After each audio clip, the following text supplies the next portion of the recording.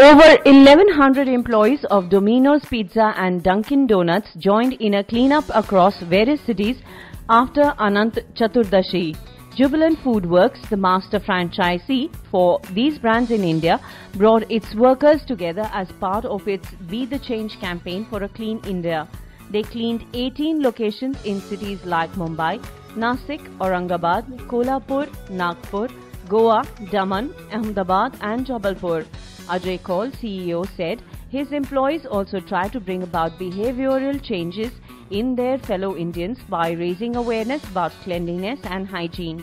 They have been cleaning beachfronts after Anant Chaturdashi since three years.